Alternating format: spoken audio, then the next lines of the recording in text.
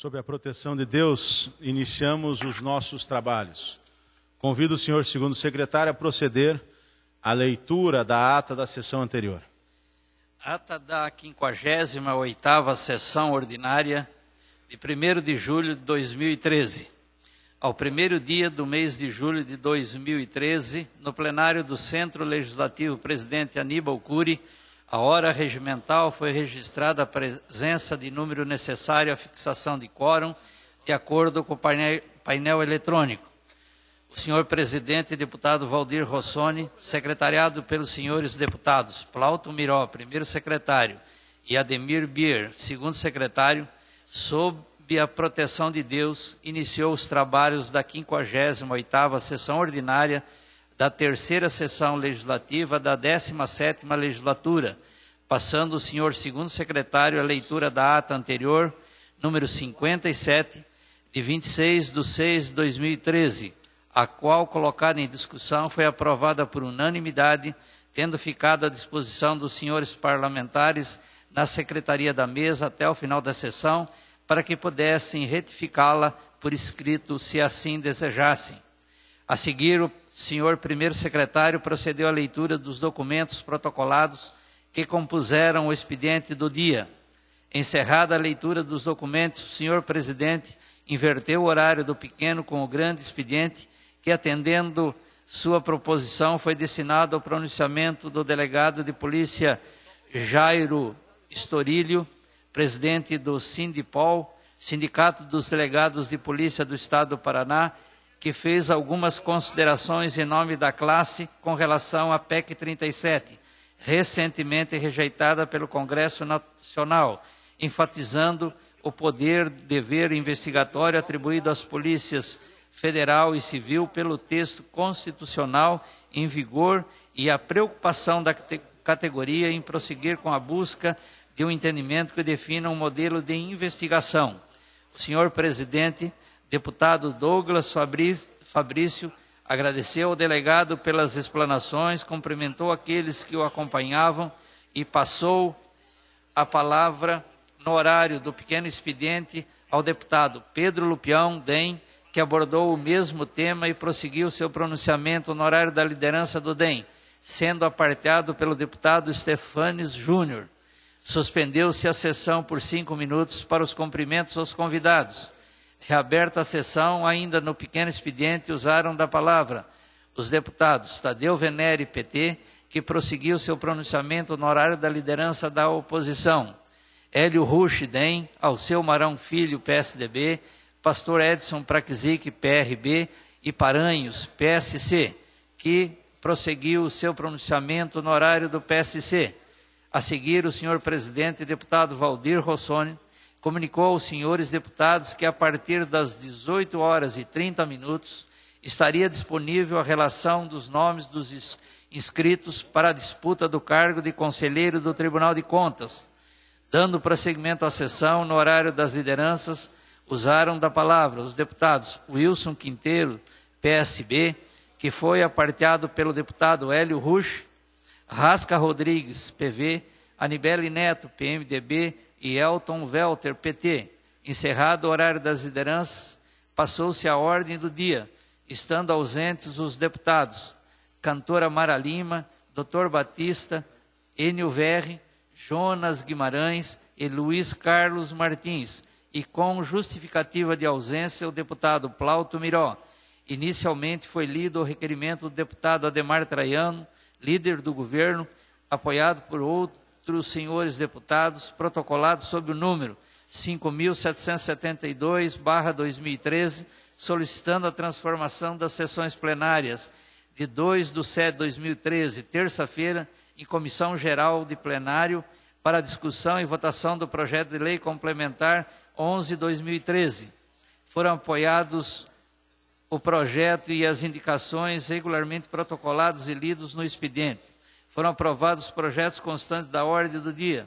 Foi aprovado o requerimento do deputado Tadeu Venere, com sua discussão adiada de sessão anterior, protocolado sobre o número 5.625-2013, solicitando envio de pedido de informações ao diretor-presidente da Companhia Paranaense de Energia, COPEL. Os demais requerimentos protocolados no expediente da sessão submetidos ao plenário também foram aprovados e os requerimentos submetidos à apreciação do presidente foram devidamente despachados. Nada mais havendo a tratar, o senhor presidente declarou encerrada a sessão, marcando outra para terça-feira, dia 2 de julho, a hora regimental quando serão apreciados os projetos constantes da ordem do dia. Levanta-se a sessão. Assim lavrou-se a ata, que será regularmente assinada pelo senhor presidente e pelos primeiro e segundo secretários da sessão em que for lida e aprovada. Sessão encerrada às 16 horas e 49 minutos. Registrada a presença de 48 parlamentares. Era isso, senhor presidente. Em discussão a ata. Encerrada a discussão, aprovada a ata. Consulto primeiro secretário se há expediente para ser lido. Há expediente, senhor secretário. É, relatório da Comissão de Fiscalização da Assembleia Legislativa do Estado do Paraná e Assuntos Municipais, encaminhando o relatório de atividades envolvidas referente ao ano de 2011, 2012 e 2013, encaminhado pelo seu presidente, deputado Nelson Garcia. Ofício número 088-2013 do Bloco Parlamentar da Agricultura Familiar, encaminhando o relatório de atividades envolvidas referente ao primeiro semestre de 2013, encaminhado pelo seu presidente, deputado Elton Velter. Ofício número 047-2013 da Caixa Econômica Federal, notificando a, a liberação de recursos do FGTS. Era isso, senhor presidente.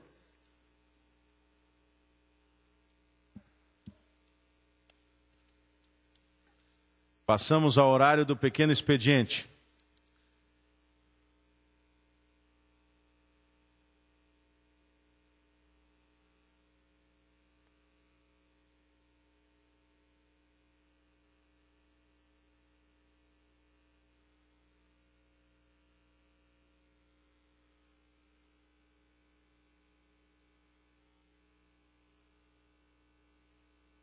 Passamos ao horário do pequeno expediente. Primeiro orador inscrito, deputado Gilberto Martins.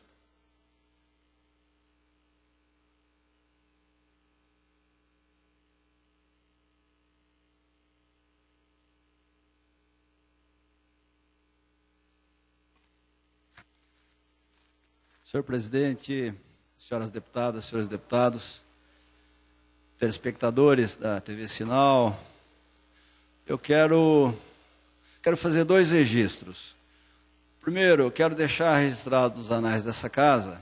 Ontem nós tivemos aqui, através de uma manifestação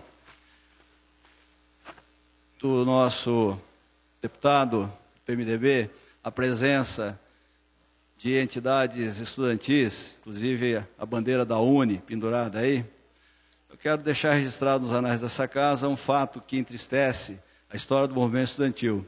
Faleceu na cidade de Salvador, aos 57 anos, aquele que foi o primeiro presidente da UNE reconstruída, quando em 79, ainda durante a ditadura militar, aconteceu o Congresso de Salvador e depois, na sequência, eleições diretas da UNE, que, que elegeu a sua primeira diretoria.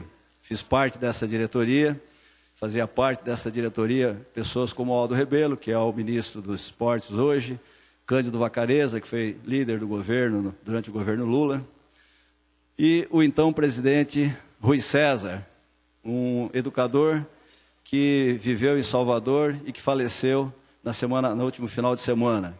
Registrar aqui, portanto, que o primeiro presidente da UNE reconstruída, ainda no período da ditadura militar, Rui César, nos deixou. E com ele ficou o legado da história da reconstrução do movimento estudantil no Brasil. A segunda manifestação que eu quero fazer, ela é bem mais próxima da realidade de hoje. É, nós estamos recebendo uma obra de fundamental importância na PR 445, um um, uma área de duplicação que começa no conjunto Nilo de Queixo, em Londrina, e que deverá se estender até o trevo da BR 369 em Cambé, e depois do trevo até o Jardim Ana Rosa já teremos também a continuidade dessa duplicação.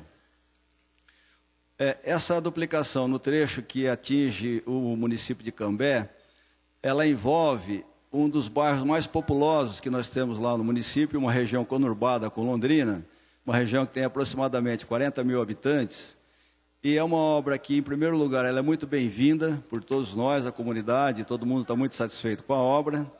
Mas, em segundo lugar, ela gerou algumas é, preocupações e algumas dificuldades em relação ao bairro, em relação aos moradores.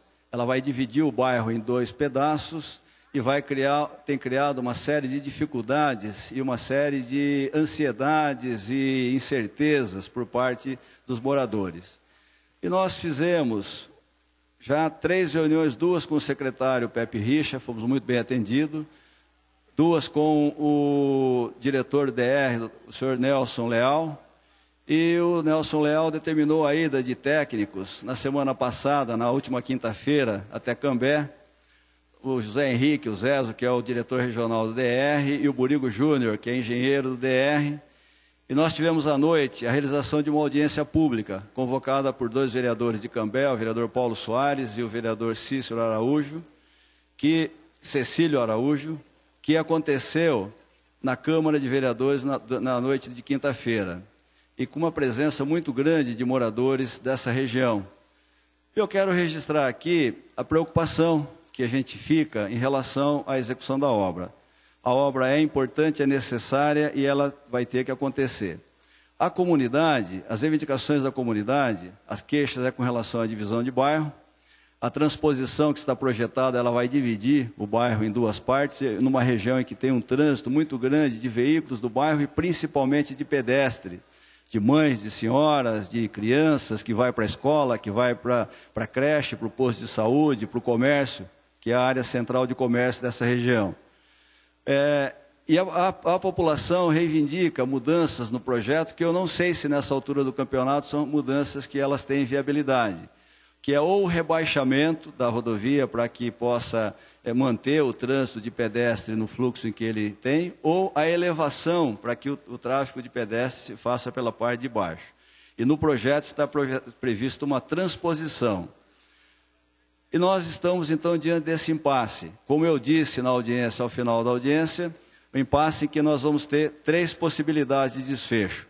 A primeira, a gente consegue fazer as mudanças no nível que a população está. Para concluir. Alô, muito obrigado, senhor presidente, para concluir. A primeira, que é a gente conseguir atender as reivindicações da população, que basicamente é ou o rebaixamento da pista ou a elevação, para que a gente mantenha o fluxo de pedestres, principalmente do jeito que ele acontece hoje. A segunda, que é fazer algumas adaptações que nós discutimos em loco com os engenheiros da, do DR, em relação às passarelas e a, a, a parte de a, eh, travessia do pedestre. Se nenhuma dessas duas forem possíveis, a terceira que eu acho que é uma alternativa que não seria a alternativa adequada, mas é ficar tudo como está. Essa é uma discussão que agora vai se desdobrar dentro da comunidade. O DR está providenciando as pranchetas para fazer a explicação em loco, para que a população possa entender melhor a obra. Então, eu queria deixar registrado esse fato que está acontecendo lá no município de Cambé, a nossa participação no processo de discussão disso junto à comunidade. Infelizmente, sete anos depois, agora, somente agora, Concluo. Por gentileza. Concluo. Somente agora que essa discussão veio à tona. Então fica, fica aqui o registro e a expectativa de que nós cheguemos a bom termo. Obrigado, senhor presidente.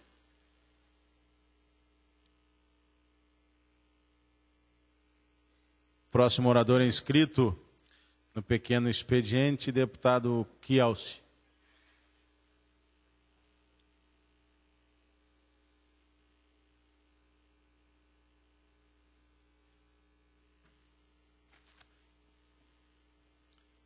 Senhor presidente, senhoras deputadas, senhores deputados, venho a esta tribuna trazendo algumas informações que acho extremamente necessárias, porque na quarta-feira passada, senhor presidente Artagão, nós tivemos um discurso que levantou talvez uma das maiores suspeitas contra esta Casa de Leis, maiores até do que eu mesmo denunciei, deputado Toninho Vancha, visualizando acordos e da forma que foi afirmado que houve leviandade por parte de parlamentares quanto à CPI do ano de 2003. Nós ficamos extasiados, porque a dificuldade de assimilar, deputado Escanavaca, o presidente de uma casa de leis afirmar da maneira que afirmou que uma CPI teria sido induzida a erro ou conduzida por terceiros, nos trouxe estranheza, porque este parlamentar, que já denunciou, que já afirmou, que já desafiou as empresas concessionárias de pedágio, visto que estou respondendo por cinco processos pela Associação Brasileira das Associações de Pedágio do Estado do Paraná e pelas demais concessionárias do Estado, do Anel de Integração, e que, pasmem, pasmem, a imprensa deixou muito claro que alguém teria que se explicar perante as CPIs vinculadas ao pedágio e perante a CI, que o presidente se equivocou, deputado Nelson Luerce. Nós tivemos uma CPI e uma CI. A CI, que seria uma comissão especial de investigação, que não tem força alguma de investigação, que nós fomos praticamente ironizados quando chamávamos as pessoas, deputado Bier, para explicarem lá na sala das comissões. E as pessoas, deputado Carli, olhavam e diziam: não, nós não temos números. Nós não podemos explicar nada, porque isso não é uma CPI, isso é uma CI. Eu vim apenas conversar com os deputados, eu não vim falar de dados. Não foi uma pessoa, foram nove depoentes. Sendo que o resultado dessa CI diz por fim aqui que não existe outra forma anteriormente buscada, além das disputas judiciais que geraram um grande montante de lutas que talvez o poder público algum dia possa demonstrar o direito e dever de ir e vir nesse Estado, mas que esta Casa de Leis recomenda que o governo do estado do Paraná e as concessionárias, individualmente, de forma direta, sob a intermediação da Assembleia Legislativa, em todos os momentos, venham num processo aberto de negociação para que a opinião pública, e não apenas alguns, venham a ter as informações complementares em pautas negociáveis pautas que, infelizmente, ontem completaram-se 15 anos. Me deu vontade, doutor Gilberto, de trazer um bolo com uma vela preta em cima para entregar na presidência dessa